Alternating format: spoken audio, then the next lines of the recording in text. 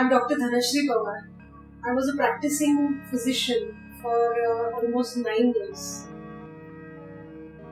My child was diagnosed at the age of two years.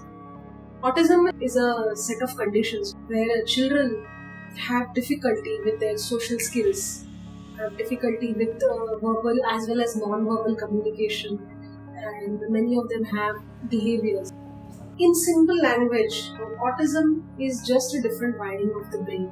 We started this journey. Our day was filled with going to different kinds of therapy, one place to another. The whole day was just running behind therapies, occupational therapy, speech therapy. In India, special children and autism, it is just about talking about mental retardation.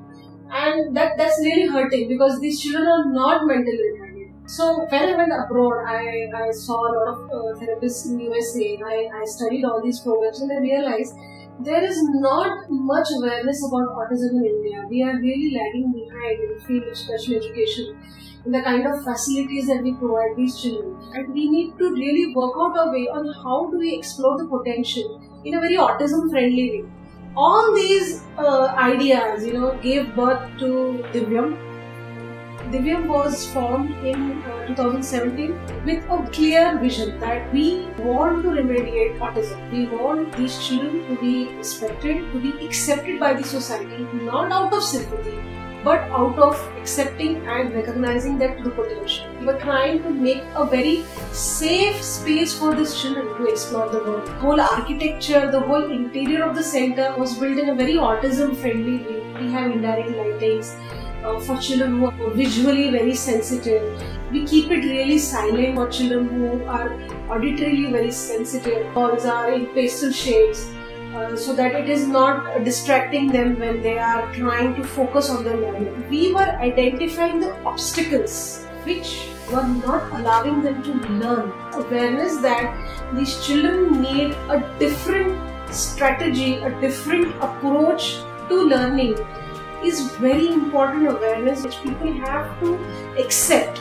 And if you can do that, if you can really give them that joyful path, that safe path to explore and learn, these children are a boon, these children are a blessing to the universe. They have absolute focus. Once they decide that they want to do this, they will do it they do not know how to manipulate. They are very, very innocent souls. When you come to know about the meaning of your life and when you realize that it is uh, working for your child, it is engaging in a cause that is going to support your child as well as so many other children. You know, that makes it very beautiful. This is what Divyam It is engaging your soul with the cause. Being a woman never stop you.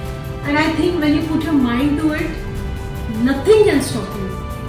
We started with two and now we are a family of 25. Our mission of making India an autism friendly nation continues and we shall reach the goal soon, one child at a time.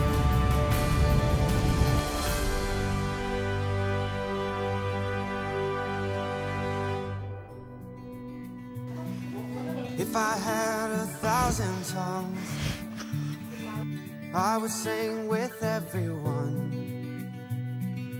Voices like a mountain song,